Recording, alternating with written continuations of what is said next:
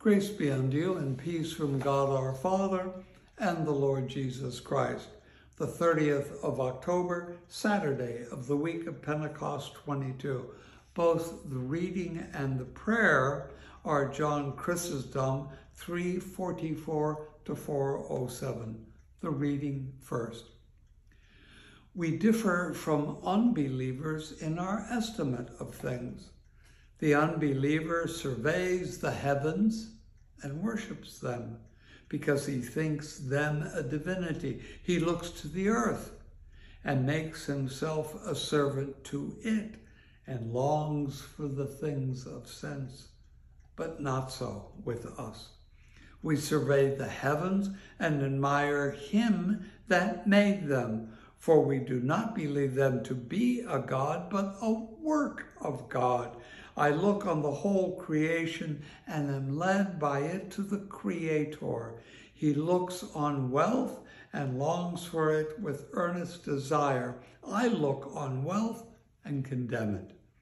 He sees poverty and lamentations. I see poverty and rejoice.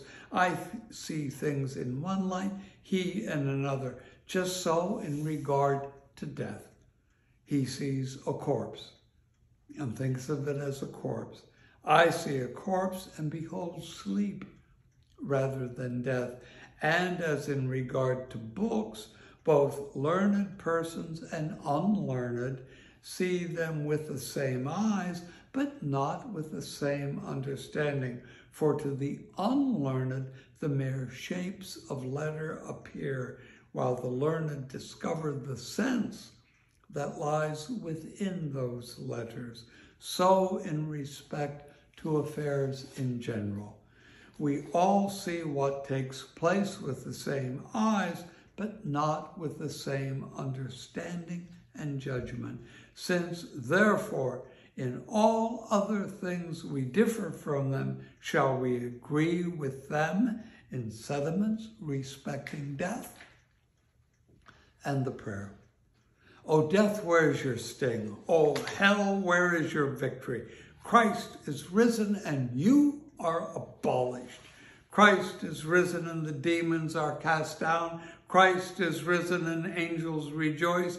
Christ is risen and life is freed. Christ is risen and the tomb is emptied of the dead. For Christ being risen from the dead has become the leader and reliever of those who have fallen asleep. To him be glory and power forever and ever. Amen.